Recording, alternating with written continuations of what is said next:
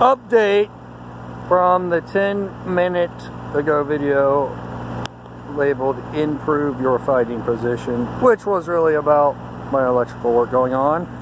I'll start off by saying yesterday was a shitty day cold wet and rainy and freezing and I decided to dig my little water hole over here bigger.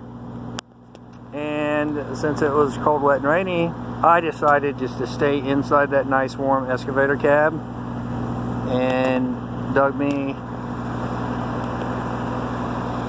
what I call a swimming pool. It might as well be. But it was just a little water hole so I could get water. So now it's a little swimming pool. Got the dirt out. Actually, I wanted to make this a little bit more level.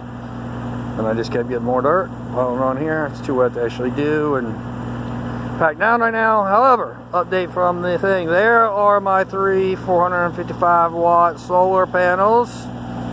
First three are in series second three are in series and then they are connected in parallel going in there to the inverter.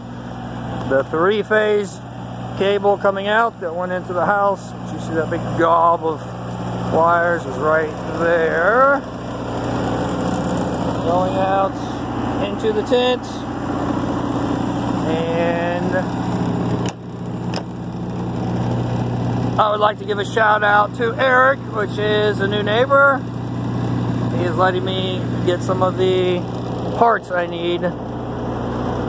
He's allowing me to use his address, and I'm, I feel bad. I'm getting a lot of stuff shipped there. However, the new thermostat for this is keeping it right where it needs to be held. Uh, we got about a 40% load over there. 35, whatever that is.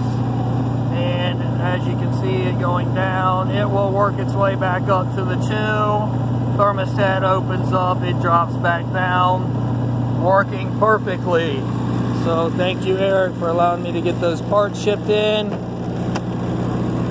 So that's what we got going on. See the lake through there? Barely I never thought you'd be able to see the lake through this site anyway you barely see it through the phone so this is the nasty, disgusting, rainy ice rain. I know they talked about this huge ice storm and things in Ohio was closing. My daughter's vet place was closing in Arkansas. Supposedly horrible. It didn't end up too much here. So, that's what we got going on. And, uh,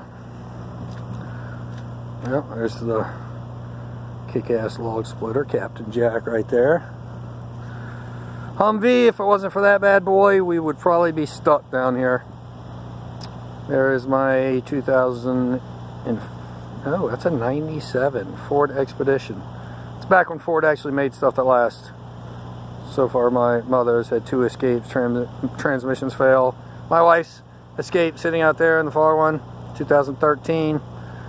Transmission I just had to have replaced. My Ford Excursion is getting a new engine put in now. I would never buy a Ford again. That whole found on road dead that people made fun of me forever on, it might have not have been that way a decade ago. But that built-in obsolescence, Ford took it to the extreme. Anyway, walking back in, according to my wife, there is no screaming or yelling, so I believe everything is doing good. How we doing? generator. Okay. Well, nothing caught on fire, so I'm going to jump off here and check everything out. Peace out. Bones. Bones! Diesel! What you doing, buddy? Oh. It's like a horse. Look at this dude. Look how big this thing is. How old do you think he is?